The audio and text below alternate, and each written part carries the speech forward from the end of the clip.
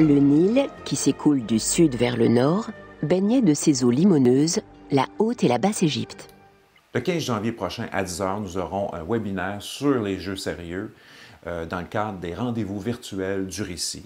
Dans ce webinaire sera question du jeu Assassin's Creed et de l'expérimentation que nous menons avec Sébastien à la commission scolaire Marie-Victorin.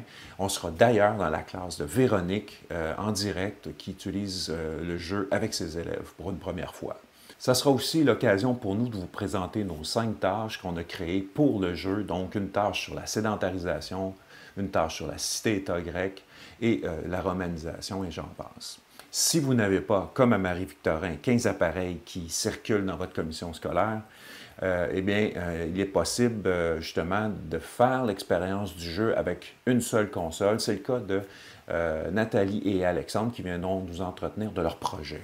Enfin, pour le primaire, ben, si vous êtes intéressé par Minecraft, on a fait une expérimentation avec Daniel qui va venir nous parler de ce projet-là et des ajustements qu'il va apporter cette année dans une deuxième année d'expérimentation.